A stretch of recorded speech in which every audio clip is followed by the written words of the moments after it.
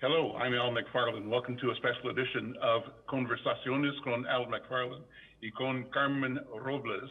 Uh, this is a wonderful collaboration. My friend and colleague Carmen Robles and I have been working together for a long time. And over the years, we've also discovered the importance and the opportunity to speak particularly to the Latino community, the Hispanic community, the Afrodescendientes, to talk about uh, the world and the emergence of this sector of our population one of the arenas of that conversation is the impact of the opioid crisis on the Latino Hispanic community. Well, today we're pleased to continue our discussions with experts in the field, uh, principally talking with the sheriff of uh, Ramsey County, a friend, a leader, a person with knowledge and with a commitment to serving uh, our populations, all of us. And we're glad uh, that uh, he is here, Sheriff Fletcher, also in the conversation, our colleague, a national leader, Dr. Hector Colon. Uh, and Dr. Hector is going to be uh, talking about the ongoing relationship he has in providing direction, leadership, and service policy considerations uh, in the area of op opioid and substance abuse prevention. Uh, we're pleased to have the other Carmen. Uh, I mentioned Carmen Robles, but Carmen Moreno is here as well. Did I say it right, Carmen Yes, you did. Carmen Carmen Moreno. Right, from, from the Sheriff's Department. And um, uh, Carmen, so good to see you and thank you for your leadership. Uh, I know that you're on fire in bringing this work, this message to the community. So I want to stop there and just turn it over to my colleague, uh, uh Carmen. first, I'll say bienvenidos a todos y vamos a hablar uh, mucho de cosas importantes y hablando con un senso de tenemos, uh, ¿cómo se dice? Um, contestas to the problems. We have the answers to the problems, and that's why we're here. Yes. Carmen, hola. Muchísimas gracias, uh, Mr. McFarlane, and thank you all for joining us today. Uh, we continue our important conversation around a very uh, important subject that CSO Moreno and I have been working on for the past year. Uh, at this time last year, uh, Department of Human Services uh, had uh, supported a conference for Latino-based so that we could address uh, opioids, heroin, substance use disorders within our Latino community here in the state of Minnesota. And uh, we were so fortunate to have our keynote speaker, which was chosen by folks over at Metropolitan State University who has, they have their their finger on the pulse of what's happening. And we were so fortunate to uh, get to the state of Minnesota, Dr. Hector Colon Rivera from Pennsylvania, originally from Puerto Rico, from the little island sister of Puerto Rico, Vieques, that's even smaller than Puerto Rico. And so uh, not only did he come for that event and for that moment, but he has been with us the full year by our side here in Minnesota as we try and get to our community. No one would have guessed we were going to have a, a global uh, pandemic. No one would have guessed that uh, we would have civil unrest and that the world would be turned upside down. Uh, our sheriff's office, uh, they deal in being prepared so uh, they, they got on it. They, they did that preparedness thing with the COVID 19, getting teams out. We'll talk about that in a few minutes. But right now, I want to bring Dr. Colon Rivera into the conversation and introduce him to, uh, I'm very proud to introduce him to my sheriff in Ramsey County, uh, Bob Fletcher. And I'm very proud to introduce to you our mentor and colleague, Dr. Hector Colon Rivera. And so if Dr. Colon Rivera, if you could just please touch upon uh, the MAT, uh, which is that medical assistant uh, treatment, and, yeah. and, and just uh, share with us uh, your knowledge as one yeah. of the top opioid experts so, in the nation. So before I start talking about medication and treatment, I want to say that it's really, it's great that we are joining forces between uh, clinical staff and law enforcement. I mean, I think I think that connection is seen as a no-no in some communities. I mean, they kind of hide from the law enforcement, and I just want to underline that we are in the fight together, and this is like we should work like this that we are in, a, in the same room the same table talking about the same topics because mm-hmm. there are our communities i mean i'm a community psychiatrist i'm an addiction psychiatrist, but and my clinics are in the community. My patients walk to my clinics, right? They are part of the community, same mm-hmm. as law enforcement are part of the community. I have law enforcement staff bringing patients to my offices because they know I'm an advocate of that. And I feel part of the problem is sometimes we don't see that. Mm. And, and I know we have been talking about what the human piece is missing, right? We talk a lot about treatment, we talk about law medications, but we don't talk about the human piece on treatment, right? And that rapport, that relationship that you need to create with the community, law enforcement, and your doctors is really, really important. Um, well, medication for assisted treatment, that's how I, I add the four instead of medication assisted treatment because it's, it's something that we don't call insulin the medication assisted treatment for diabetes, right? So it's like it's, it's it create a mutual it's a mutual conversation with the client, right? I'm not I'm not imposing a treatment to the clients, you know. It's, it's he deciding, it's a choice, right? And medication for assisted treatment has FDA approval, right? There are three medications when we talk about opioids. Uh, and opioid includes the synthetic, the non-synthetic, the semi-synthetic, right? Usually when we think about opioid, we think about heroin, uh, but there are also Oxycodone, Vicodin, Percocet, fentanyl, uh, you name it. There's a lot of them, morphine. Uh, so, and the fentanyl that is on the street is not the same fentanyl we see on the hospital. So don't confuse that, right? It's a fentanyl that's coming from outside different countries. I mean, China, Mexico are the highest uh, importers of the of fentanyl in on the street. And, and what we're seeing now is, is fentanyl has become a drug of choice.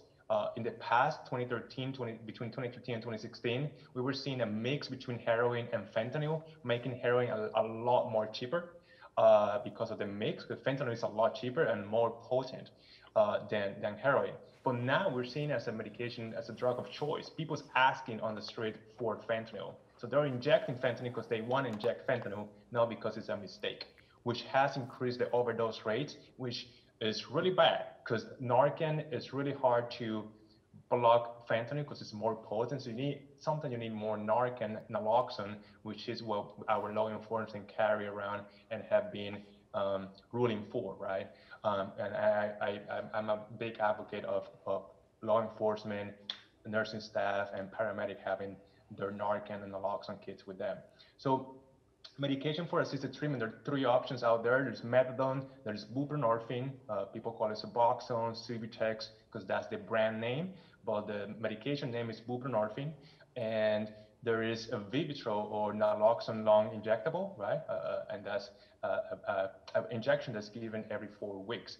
Um, so those are the three FDA approved. What that means is being shown to, you know, be helpful to uh, ma- maintain someone on off of the street markets, off of, of the illicit substances, and keeping the structure that they need in society. Thank you, um, Sheriff Fletcher. Well, first, I want to compliment the doctor. I'll tell you what, that is just a great summary, doctor, of what's taking place in the community. And uh, you know, thank you for that, for that uh, highlight of all the key issues. Um, on the community side, we're seeing more people dying from overdose of opioids in this country than we are from car accidents. It's been growing since 2008, this epidemic. Um, my son, of course, as you know, passed away in 2015 as this epidemic was growing.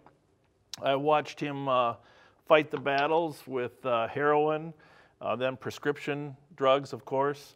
Um, he wasn't around during the fentanyl surge, but doctor, you've correctly pointed out that fentanyl has become uh, a huge uh, problem for us.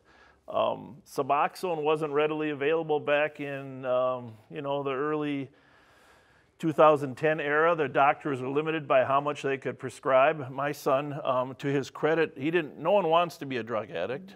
Worked hard to try to find a doctor that could prescribe it to him, and in, in time uh, did. And originally it was just for three weeks at a crack, and then in time he found a doctor that could prescribe it to him.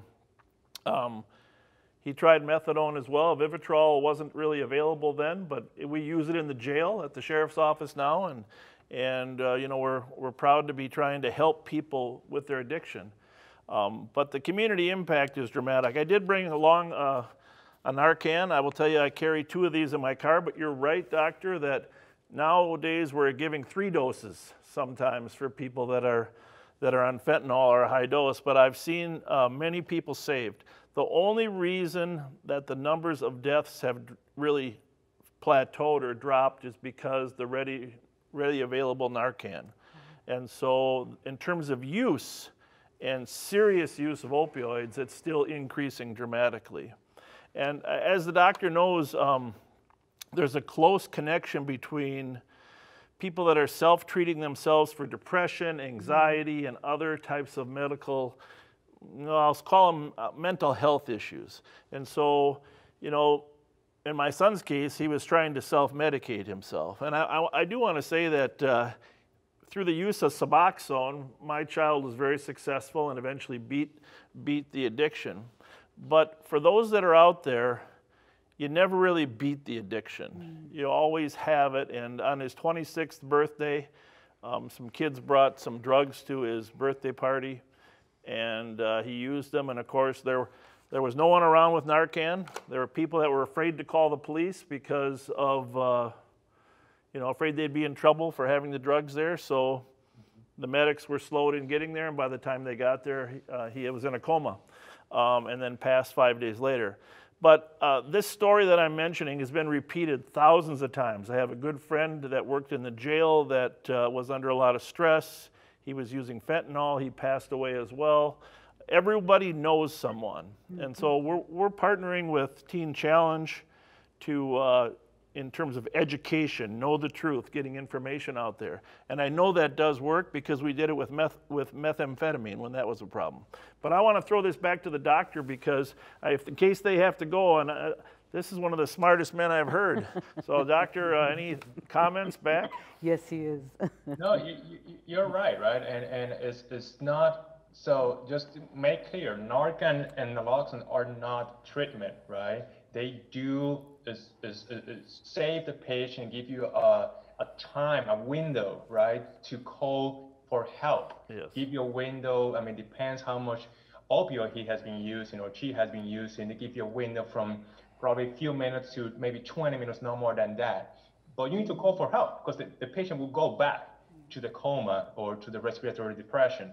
Of treatment are the methadone, the buprenorphine, the nalog, the, the, the Vivitrol, the naproxen. And you're right. I mean, only one out of four or five people that meet the criteria for a opioid disorder get treatment. It's really hard to find someone to treat uh, and has the empathy, right, the human feeling to treat this. Because it's not only take the patient away, also the family, mm-hmm. also the people around you, like the job, the physical uh, difficulties the patient have. And you're right.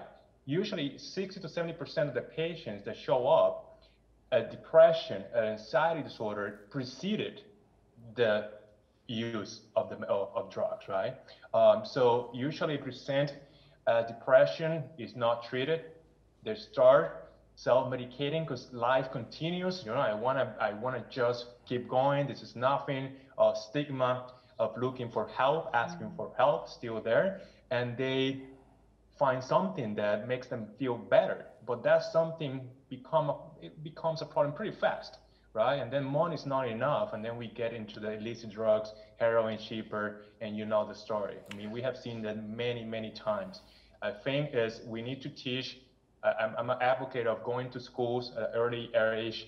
I mean, it has to be uh, elementary school if possible, talking about mental health, uh, training our staff in schools about how to identify, right, signs and symptoms of depression before they, they become a disorder, right? Because not all depression is clinical depression. I mean, it's okay to be sad. It's, it's okay to feel emotions because you're human, right? We need to feel emotions. But once it's a clinical depression, you are losing functionality. The kid is not himself. Behavior have been changed. Mm. Family is distorted. We need to look for help. And we're so afraid of telling I'm depressed, so afraid of identifying that I'm weak, that the society is suffering. Yeah, and doctor, let me oh, let me jump in, uh, uh, Chief and Doctor. I've got to leave in a couple of minutes, but uh, I just want to echo what you said, Chief, about how important uh, having this expert uh, analysis from Dr. Colon Rivera is and how important this conversation. Chief, thank you so much for telling that story again and again because it's, it's uh, eye-opening and it's affirming that this is illness we're dealing with and it's not bad people. Right. And too often our society has demonized and called people weak or had people believe uh, and feel shame where they actually needed help because there was illness that they were coping with. So that's where I want to also praise uh, my colleague Carmen and both Carmens because you all are on a mission to destigmatize the discussion about health and mental health so that our people can speak freely mm-hmm. about what it is to be uh, uh, challenged and to uh, also find a path to embracing resources, advice, counsel uh, that will make us uh, well and functional in community and removing the fear that is associated with people who have used uh, opioids or drugs as a coping mechanism and the fear that keeps them locked in those behaviors because they feel so alone. But uh, I want to uh, say thanks to all of you. I have to leave for another uh, session and uh, compliment you for what you've organized and what we are doing together. Thank you all so much. Thanks, Al. Thank you. Thank you. Thanks for having Gracias. us. Thanks for having us. Please go on, Sheriff.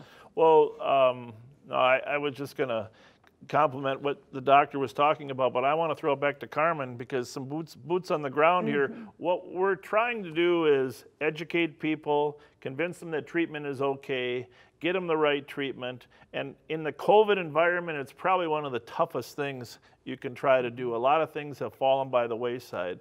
We've seen a dramatic increase in suicides throughout this country during COVID. Um, I've never seen anything like it in the summer. Usually, we January or February we have a large number of, of suicides, but we're having people that are mm-hmm. attempting suicide on a on a regular basis, and a lot of it is mental health, mm-hmm. it's chemical addiction, and so you know, there's greater need now than ever. And of course, the economic issues and the social issues are are not there. But Carmen, you want to talk a little bit about some of your efforts? I do. Um, like the sheriff said, that COVID-19 really did a different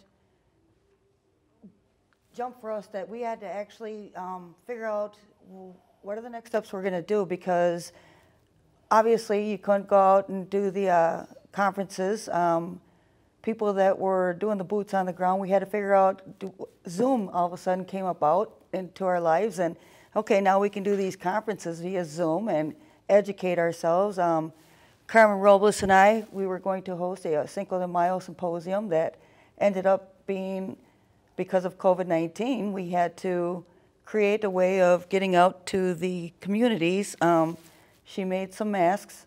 She had me come pick the masks up with some brochures um, that I found in, in, resource information of digging through the internet websites.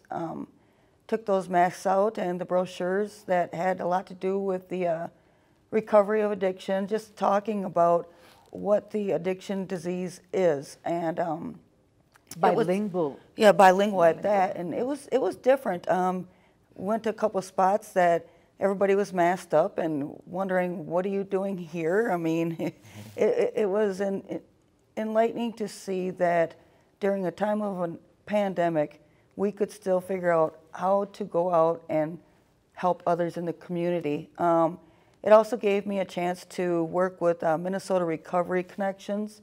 Uh, they are a peer-to-peer group that have been through the uh, disease of addiction, and we're actually working with them in a lot of different formats of hoping eventually we'll get them into uh, the incarceration part of the jail system. Um, because what I found out is that peer to peer connection is more engaging and it opens people up to conversations. Um, there is that stigmatism of shame. It's been there for years. Um, and for me, I got into doing what I'm doing because of my loved one that has fought for over 12 years and he is now in recovery.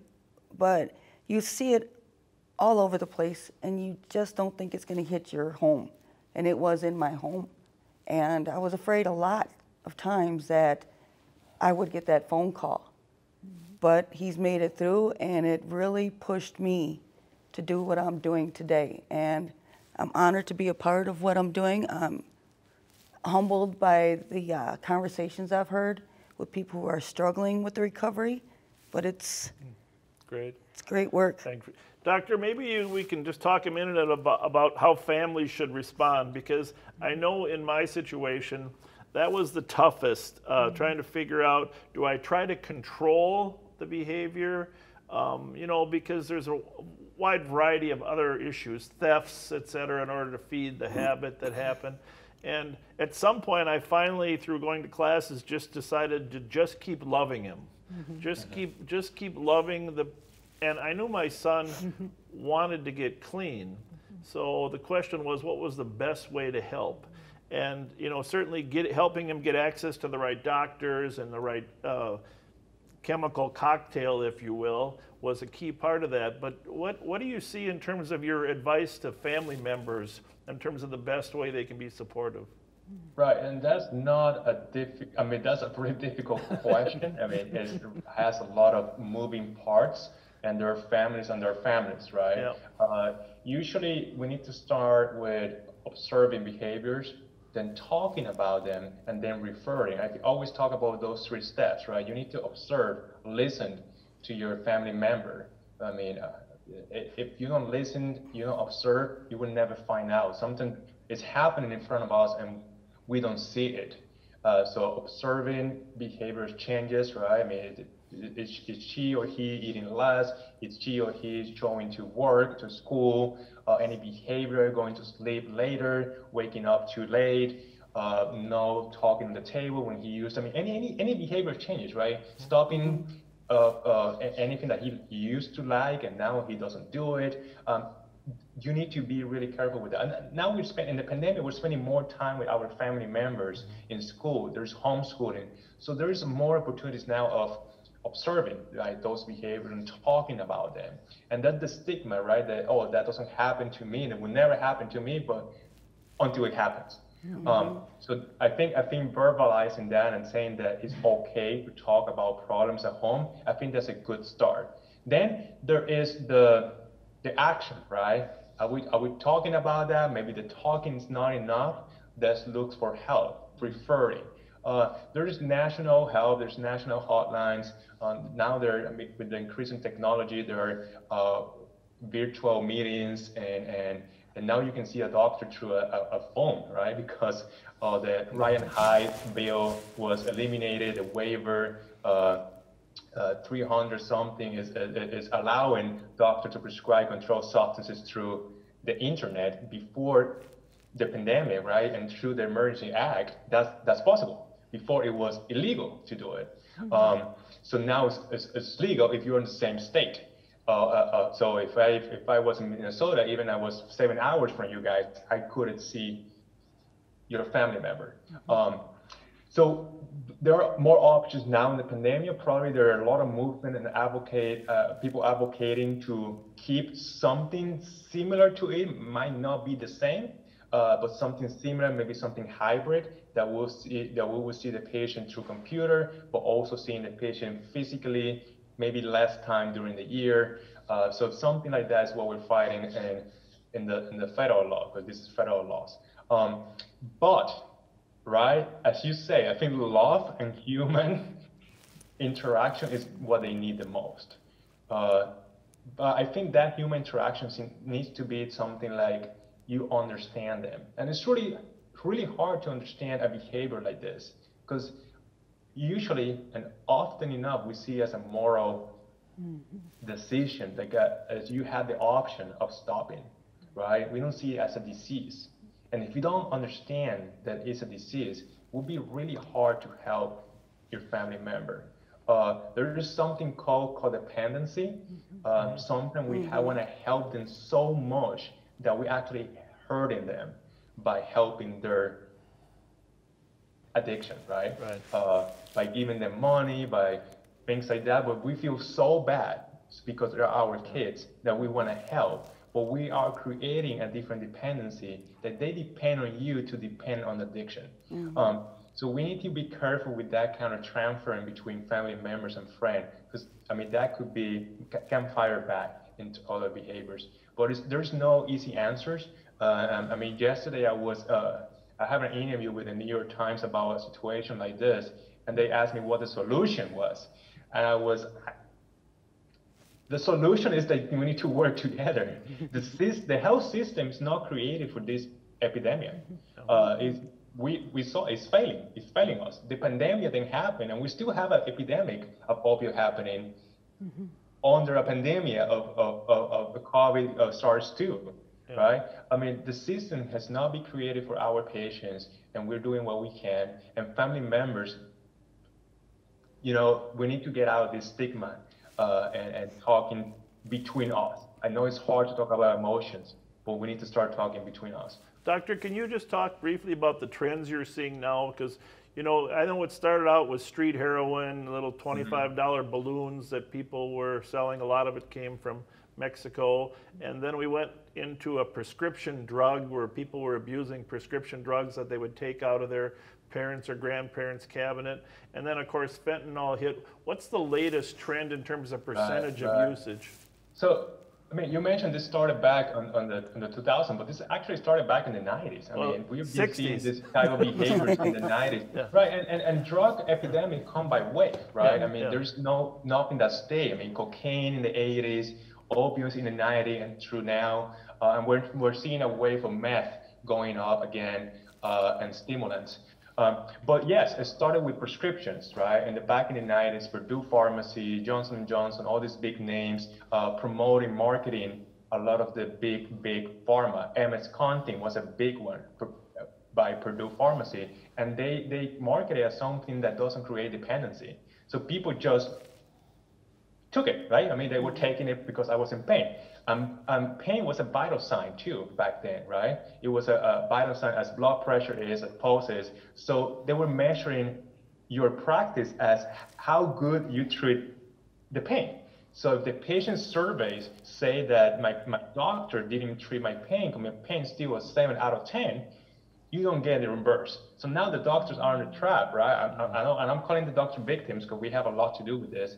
Uh, but you're on a trap that you will not get paid if you don't if you don't treat that pain. So what are you gonna do? Well, you prescribe medication that they told you they don't create dependency. Mm-hmm. So it's just this twister, and then the dealers come in, and then you know it's a perfect storm. Mm-hmm. Um, then the oxycodone, because we started pulling back a little bit, they, and it's like like demand and offer, right? Now we're talking about economics.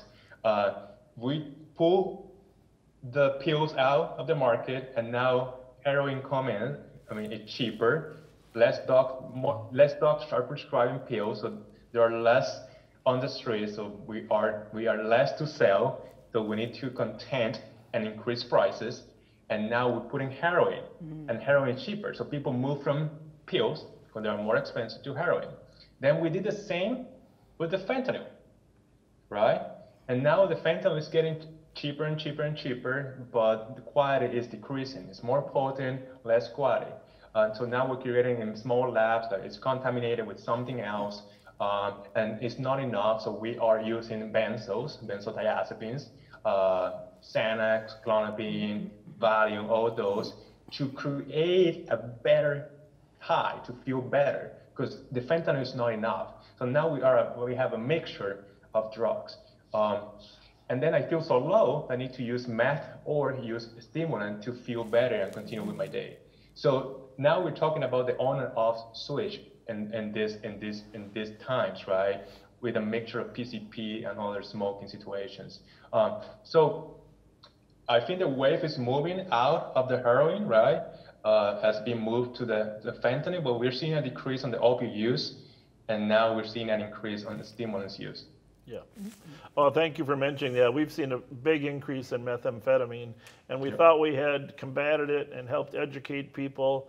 You know, back in the 90s, uh, late 90s, we really had some success like you're doing now in showing people the chemicals that go into methamphetamine, and they'll mm-hmm. look at those cans and of, and they'll say, "Whoa, I don't want to put that in my body."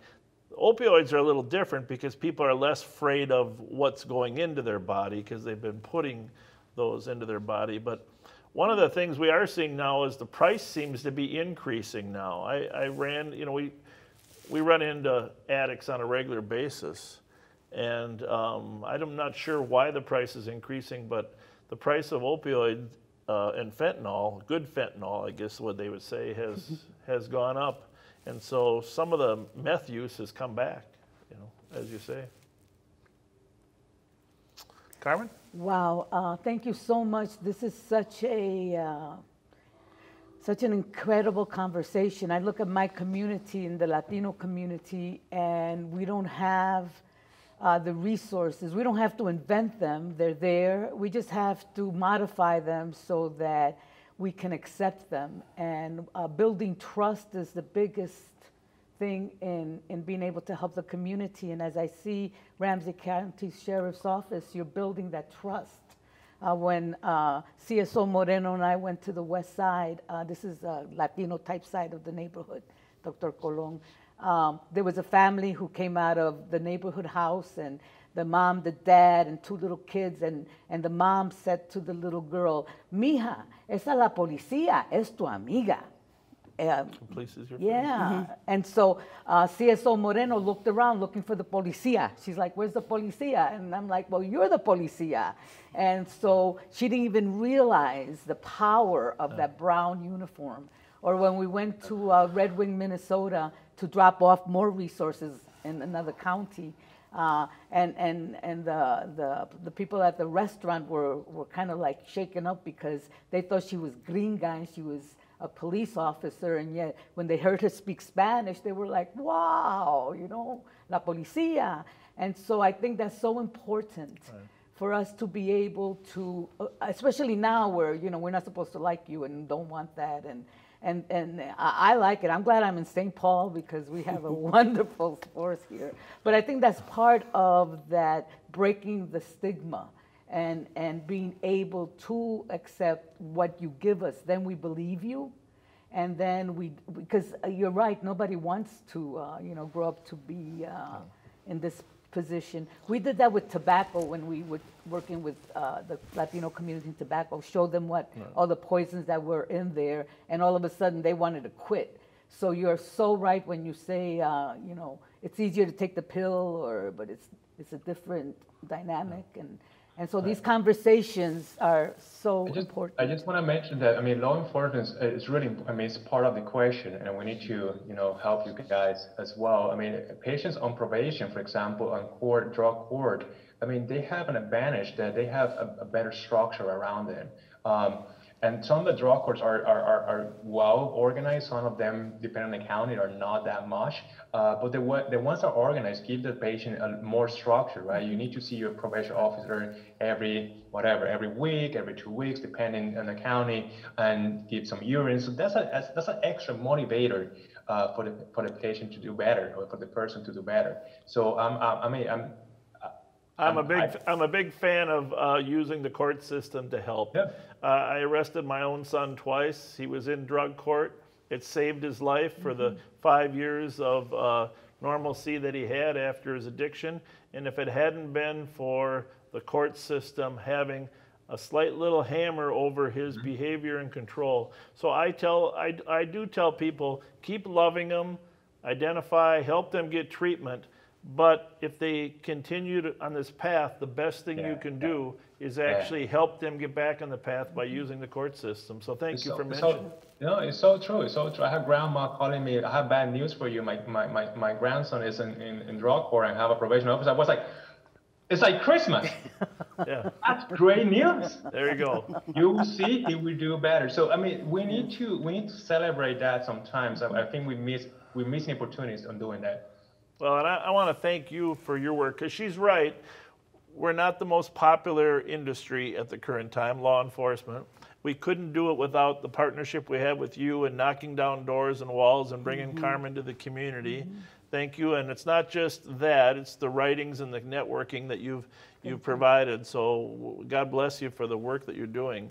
And every immigrant community, every single one has had stumbling blocks and obstacles and, and while this is affecting the Latino community, it's also right now affecting our Somali community. Mm-hmm. We have yeah. 100,000 Somali persons right here, and this is a huge problem they're reaching out, they're desperate, and we're going to have to begin an initiative in the Somali community to meet with mothers and help educate them on what they can do as well. So we'll use you as the role model and the and pilot we'll project. use you, Dr. Colon. uh, Yeah. You know, that's the beauty of what we're working with uh, Minnesota Recovery Connections right now because those folks are in recovery. They, they are coaching. They're a peer-to-peer system. And once we get, um, I guess, the dynamics of, of cultural folks that can go out to different communities and we can all speak the languages of what we're dealing with, there's where we're going to start building up the communities again because it is all about if you're going to be a, if you're going to work with the community you have to be a part of the community. And that's why i really Right. when i did that peer-to-peer uh, training for that week it was humbling. Um, just to talk to those who have struggled with life. You know in watching my loved one you know I, I watched in front of me my grandchildren lose their families home. Uh, the, the parents fell apart because of the disease of addiction. Um, work was done with it they, they lost everything. And it's the one thing that i learned going through this uh, coaching recovery was i always wanted to let my loved one know darn it bring it in here. This is what i'm trying to do for you. You're not listening to what i'm saying. Well through the coaching training i learned it's that person's path. You cannot guide their path. You have to let them do their path. Right. Yeah, she And took that's the old, important.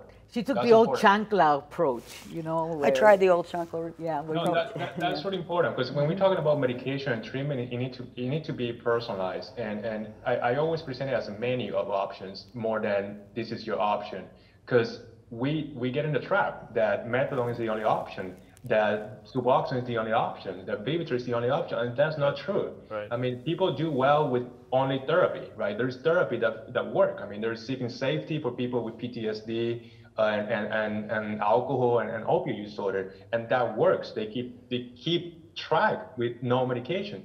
But you need to sit down with the patient, understand the situation with the family, and make a treatment that's personalized. You need to meet the patient where they are at. If you push too much, you will lose them.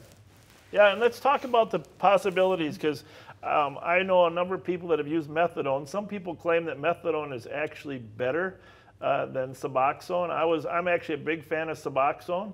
Don't have much experience with Vivitrol, but what about? I mean, methadone sometimes is, of course, it's a liquid generally. Um, sometimes it's hard to access it on the weekend, so the pill is so much easier. Do you have any thoughts or recommendations on those treatments? Well, I mean, again, I, I always present it as, as, as a manual depending on the assessment I, I do with the patient and the families. Uh, they're all, I mean, depending on the patient, they're all gold standard. The gold standard is usually methadone Yeah. uh, for people, I mean, they need the structure. Uh, it's been around since the 50s, 60s, has the most study behind it, more data. Uh, you know, it's, it's re- less uh, people falling from, from treatment, so people stay longer on treatment. They call it the attrition rate. Uh, is lower for methadone. Um, I mean, they're both.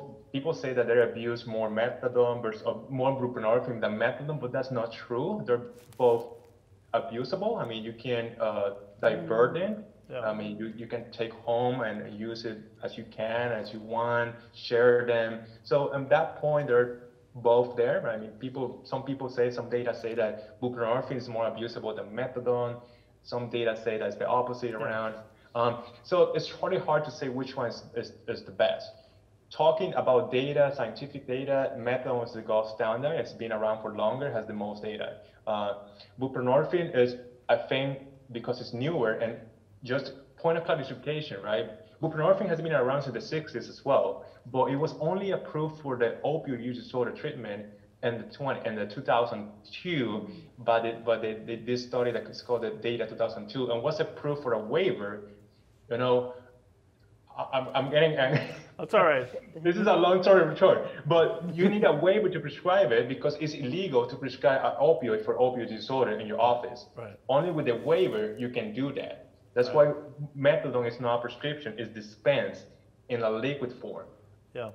Well, I don't, I don't know how much time we have, but I want to reemphasize uh, that if you have a loved one, even if you don't, Um, people should get some Narcan. They should carry it with them. I, I last, I think the expiration is usually a year or so. Um, carry it with in your car. It comes in a box of two.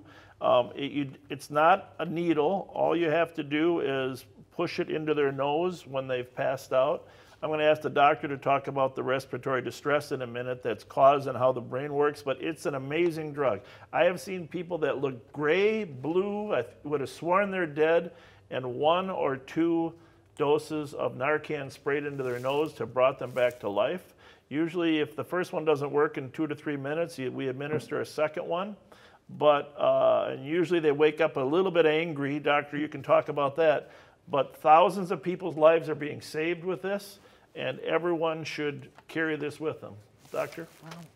Yeah, so Narcan and naloxone are they are anti-opioid medication, right? So they block opioid receptors so fast that you want to send someone a withdrawal. That's why they hate you. Yeah. Um, so they feel sick. When you're withdrawing, you are sick. You feel stress. You start sweating. You can have diarrhea, goosebumps, nasal. Uh, I mean, you feel sick is imagine having the all the symptoms of a flu on top of you, like as a it, yeah, it's, it's awful. So they hate you. They will hate you. Uh, they're confused. Um, so usually, this is my trick, right? Usually, and, and, and you need to be careful, right? Because not all patients on respiratory distress are opioid induced, right? Not yeah, right. all respiratory distress is opioid induced. So you need to try to talk to the patient first as if you were using CPR, right? It's like it's like it's the same technique of CPR. Hey, how are you doing? What's your name? I'm looking for response. Um, if the patient is has no pulse, please start compressions. Okay, you need to start CPR. Okay, call for help because this is really important. We're talking about patient is has no pulse. If we are sure that it's a respiratory depression, right, and the patient has pulse, and maybe you think you're in an area, you're thinking that maybe he's using opioid, Narcan is, is great. But please tell the patient, hey, you're not responding, I'm gonna give you Narcan. Sometimes they wake up without you giving the Narcan, okay? Because they have been Narcan before and they remember, okay? And it's true. As has happened, I always do it. Hey, whatever, Juanito, I'm gonna give you Narcan now. Something they respond and they wake up. Um, but yes, Narcan will send the patient on a withdrawal, right? And they will feel sick. Only the effect, only the effect lasts for about two to 20 minutes. Give you enough time to call for help. If yeah. you feel the patient is going back to respiratory depression, give her more, giving or more Narcan. You're not gonna harm the patient by giving him or her Narcan, okay? So give more Narcan. They will hate you. They will hate you. They will feel sick. You will not kill them. They will die if you don't give them Narcan. Most times, you know, there'll be a friend there that might be able to tell you the type of drug so you can confirm they're on an opioid of some sort, or it might be a family member that's familiar with them. I will tell you that we've had in law enforcement and here in Minnesota as well, we've had entire groups of people overdose at once. Mm-hmm. They'll get a mm-hmm. bad or an extra strong batch of, of fentanyl, or maybe they thought it was just uh, heroin and it had, was laced with fentanyl. We've had entire houses go unconscious at once. In some right. cases, one person might be able to call 911. So it's, it's not unusual to see group, group overdoses as well. Uh, and, and, and, you need to triage. I mean, in those moments, you guys are trying to triage. Uh, usually, if, if they are on opioid, you should put them on their side, right? So they don't they don't aspirate. Right. Uh, put them on the side or, or sit them down uh, and, and, get this the one that's it's, you, you feel is it needs the treatment the fastest. Um, but yeah, you can you can, you need to change the the way they're if they're laying down. You don't want them to swallow their own a vomit oh, or vomit because yeah. then they're going to die. Um, so it's a difficult situation. I mean, yeah, it's, it's, a difficult situation. So I hope you guys carry two, three, four of those things. Yeah, we do. Well, this has been fascinating for me to hear the doctor. Well, thank, thank, you, you for bringing much. us all I've, together. I've been, we've been so anxious to get these two powerful no, leaders together because we just talked about sharing and community. But I would like to ask one last question before we leave, uh, Dr. Colon. So every once in a while, I hear things like uh, public safety has nothing to do with public health. There are two different things. And so I feel that that that partnership is so vital and so important. And I, I just wondered uh, how you would respond to those who say, "Hey, public safety is public safety, and public health is public health, and the two shall never meet, the twain shall never meet." So, any comments on? Sure, sure. I mean, it's, it, I mean, it's clear. I mean, we're living in a, in a, in a universe. I mean, this is, it's the year of the pandemic. It's the year of continuation of use of, of, of opioid, illicit drug, people dying from overdose. It's the year of the census, right? It's, it's like 2020 has blown my mind. It's like, wow, we, we cannot have more because Fires, know what, what yes. Uh-huh. Um, but we, we always talk about social determinants of health, right? And social determinants of health are education, transportation, housing, and health, right? And all that needs to be in a balance. Without the public safety, those things cannot be balanced out. I Thank mean, we you. see on the street uh, why people use well, it could be because they feel depressed, because they're, they're isolation, because finances. I mean, you put that on context, right? You need the context to know where that pe- where that person is, right? You need to meet where the, where the patient is, with the client is. Um, but without the balance, right? Without the that community sense that have different moving parts, there's no no safe. There's no. I mean, and we can talk about racism. We can talk about everything that's going on, the violence that we're seeing. I mean, all that is a public health crisis. It's a public safety crisis. They walk together. Right. It's a mm-hmm. domino Beautiful. effect. Yes. Well, and that's why Thank one of you. our goals at the sheriff's office, Carmen, is when people are arrested, when they come to our booking station, if they have a chemical addiction or a mental health issue, that is the primary reason they're there, we would like to have a diversion building right next door where they immediately go into treatment, some with some five-day treatment, some mental health counseling they don't need to come into the jail if we can identify what the causal issues. And we and we know that 70%. Uh, we have three issues in our jail. 70% of the people are, have some mental illness that they're struggling with. 80% have chemical addiction or chemical abuse. And, and another 75% uh, have literacy issues. We're unable to read and succeed out in the community. So if we can work on those three issues, we can greatly reduce the population in our detention facilities. That, so that's that's a good definition of what public safety, public health is, right? I mean, it's it's it's pretty hard because society usually punish mental health, yeah. uh, uh, and and you look for help, you're punished, right? They put you in a cell. Um, so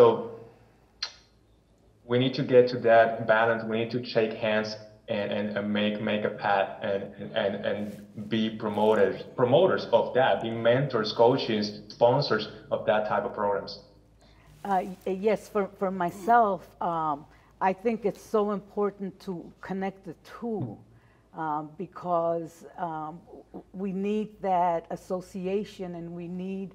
Um, I, I, worry about my police officers uh, who who have a job to serve and make sure I'm safe, and yet they're, they're constantly involved in domestic or mental health issues or things that really put them at, at risk. And, and I'm thinking, well, gee, you know, that's where that public health needs to work together because uh, I, I don't want my safety, uh, uh, those who take care of me, to be in positions of danger because of that feeling that no, public health is public health and public safety is public safety. And so hearing you say that uh, just uh, gives me great, great strength and joy to continue the work and to let the community know, no, tú sabes, trabajamos todos juntos, somos una comunidad. Y la policía está aquí para ayudarnos. So the, the police is here for a certain reason. Nobody, I don't believe eh, officers get dressed in the morning ready to go kill anybody. I believe they're just like my son who goes to work every day, just like you, Dr. Colon, just like yourselves. And, and so these, all these issues and, and such a difficult time, unprecedented time in our history. Uh, so to hear the, the, the words about continuing that connection and, and really solidifying that connection uh, gives me a lot of hope for, uh, for us to be able to take care of business and to eradicate this uh, disease that's just eating us all up uh, right in the middle of a pandemic. And that increases domestic uh, violence at home, it increases alcohol use, kids aren't going to school, they're missing their friends, and so it's just so much mental health trauma on top of trauma on top of trauma. And uh, thank you for saying that uh, we need to collaborate, connect, just exactly what the sheriff's been saying. That's why he got voted in, because that's exactly what he's doing with our community and with. Uh, It sure wasn't my looks. wasn't my looks. I know that. So, uh, Dr. Colon, again, uh, my deepest gratitude. I, I speak on behalf of all of us here. No, in- thank you, in thank you. I love this Paul, setting. I love the setting. So Yeah. we're, we are sharing the same table. I love it. I wish I could give you a little bit of cafecito, pastelito. Really, Actually, really, I, I got I got the coffee, so thank you for the coffee. really an honor, an honor to meet you and talk with you. Thank you for your work. Of work. course, no. Thank- I, I- I mean, thank and you very much. knows. Carmen, both Carmen know this. I, I, I always try to make the time needed for Yes. For, Yes, for you this, do. because Thank you. We need, we need, we need. I mean, we we, Yes. we can we can make a lot of noise. Yes. But we need the action. We need our feet and our arms as well. So Yes, and please know that you're embraced by us, and now that you know our sheriff and his passion and his commitment, I leave the two of you to uh, Thank continue you. this. Thank you. No, this sure, great sure. work, and I, I appreciate and I appreciate the audience for Yeah. tuning in to Spin Station here, our number one public station uh, for our community in this in the city of St. Paul, Ramsey County. And I encourage everyone to share this with friends and family so that we can have that compassion for our family and we can stop that codependency uh, and not feel guilty because we did do something strong for our kid and made them whatever. And I've been there, I've done that. My kid didn't talk to me for seven years. And so I, I know the pain that you have to do when you see that you, you, someone you love is, is on the wrong track. Yeah. So I just want to thank everyone from the bottom of my heart, and especially Spin and McFarlane Yeah. Media. And it's not, not, it's not an easy conversation, right? But it's a conversation that it has to happen. And the more, the more you talk about it, the more people talk about it, the less stigmatized it is. So let's work on that. It's it's sometimes more comfortable to be in denial, but it's never it's never good in the long run to be in denial. So, thank you. That's very true because um, just that shame of it, the more communications and open conversations we have, will start to erase, not, not, that, it- it'll start to dissolve that shame and make people feel, have people feel more comfortable to have these conversations because to be comfortable, you have to be uncomfortable. Yes. Yeah. So, Well said. So with that, we'll- Thanks for having us. We'll close the day. And again, Dr. Colón, muchísimas gracias por toda su ayuda, por su mm-hmm. apoyo y este, No, este, we, we are in this sinceramente. together, guys. So thank you. For Yes. yes, we are. Thank you. Dios te bendiga and I'll see you soon. Muchísimas Take care. gracias. Thank you. Gracias. Thank you.